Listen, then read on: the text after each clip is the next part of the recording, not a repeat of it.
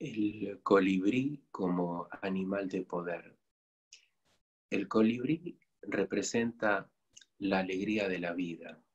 Cuando uno ve un colibrí, lo ve yendo de acá para allá, de flor en flor, rápido, vivaz. Significa el disfrutar eh, la felicidad de la vida, la abundancia. Eh, también lo efímero que puede, que puede ser todo en la vida. Porque el colibrí va de flor en flor, todo es efímero, todo ocurre rápido. Entonces hay que saber disfrutar el tiempo, hay que saber disfrutar la vida que se nos da, que es una gracia del universo, es una gracia de Dios. Eh, en realidad ni nos pertenece la vida. Llegamos acá y no sabemos exactamente cuánto tiempo vamos eh, a estar en este plano. Entonces, si usted sueña con un colibrí o de pronto empieza a sincronizar porque aparecen imágenes de colibrí en, no sé, en el internet, en un libro, en una propaganda, en un documental que está viendo por YouTube o por televisión y luego sueña con un colibrí, eso para mí lo tiene que llevar a pensar qué está haciendo con el tiempo de su vida. ¿Usted está disfrutando su vida? ¿Está disfrutando del momento presente que es un regalo del universo? ¿O usted no tiene tiempo para disfrutar? Piense que la vida es efímera. La abundancia, ¿cómo está la, puerta o el camino de la abundancia en su vida?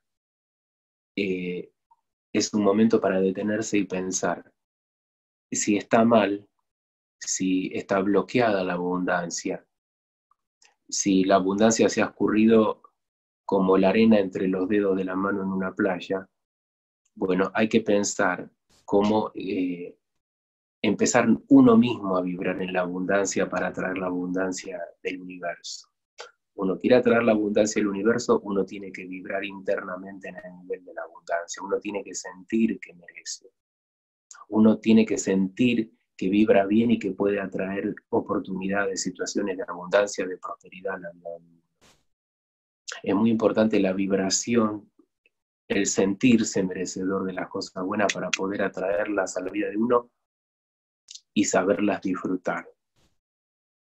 Porque resulta que la vida es una gracia, es un regalo que se nos ha hecho a todos los seres humanos y en realidad son muy pocas personas las que saben disfrutar la vida y tienen la conciencia plena de que la vida es corta, que merece ser vivida y que hay que saber disfrutar y estar en el momento presente, no con la mente yendo hacia el pasado, no con la mente yendo todo el tiempo eh, al futuro. Entonces, el colibrí trae mucho aprendizaje. Es un animal de poder con mucho aprendizaje. Las personas cuando eh, quieren eh, saber cuál es su animal de poder, simplemente basta con que pidan al universo que se los revele en un sueño. Ese sueño va a aparecer con el animal de poder. La gente quiere ser león, leopardo, tigre, lobo, quieren ser animales poderosos pero hay veces que nuestro animal de poder que, verdaderamente tiene que fluir energéticamente en nuestra vida es un animal frágil, conectado con la felicidad, con lo efímero de la vida. Quizá ese tipo de animal de poder como el colibrí nos puede enseñar mucho más del remedio que nosotros tenemos que tomar el tiempo, en el momento presente para ser felices la gente quiere identificarse con animal, animales de poder, de fortaleza, de fortaleza física, que inspiren respeto, temor. Pero hay que conectarse con el animal de poder que corresponde al momento de la vida de uno. Quizá este es el momento para ti del colibrí.